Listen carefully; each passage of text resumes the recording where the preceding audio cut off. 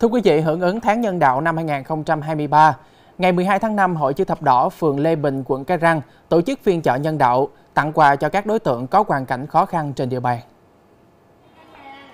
Tại phiên chợ, Hội chữ thập đỏ phường Lê Bình bố trí 17 gian hàng với các mặt hàng gồm gạo, mì, dầu ăn, đường sữa và một số nhu yếu phẩm. Theo đó, 150 đối tượng là nạn nhân chất độc da cam, người mù, người tàn tật tham gia phiên chợ được cấp bộ phiếu đổi hàng miễn phí, trong đó 100 phần, mỗi phần 700.000 đồng và 50 phần, mỗi phần 500.000 đồng.